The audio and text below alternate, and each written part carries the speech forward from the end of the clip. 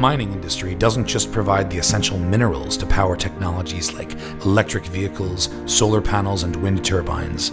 Much more than that, it delivers direct, tangible benefits to our global society. As the energy sector as a whole pivots towards a more sustainable future, mining in particular continues to contribute to community development through job creation and ensuring the ethically sourced and sustainable supply of minerals needed for a clean society. The digitalization and technological transformation of mining will require a workforce with new skills. Almost 100 million new data driven jobs will be created. In line with the Saudi Vision 2030 plan, Saudi Arabia is leading by example and harnessing the opportunities derived from this transformation and is delivering societal benefits for the Middle East, Central Asia, and North and East Africa.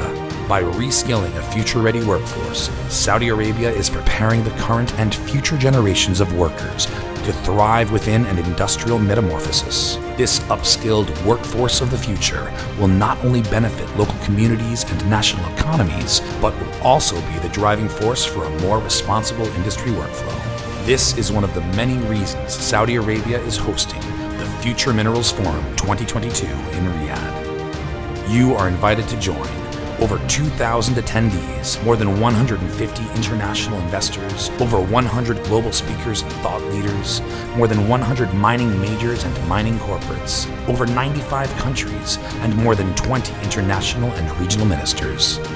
All convening at the forum to connect with peers, engage with policymakers, harness the social benefits of mining, raise awareness of the bold new future of the industry, and transform mining for the betterment of all the Future Minerals Forum from January 11 to 13, 2022 at the King Abdulaziz International Conference Center, Riyadh, Saudi Arabia. Register online at futuremineralsforum.com.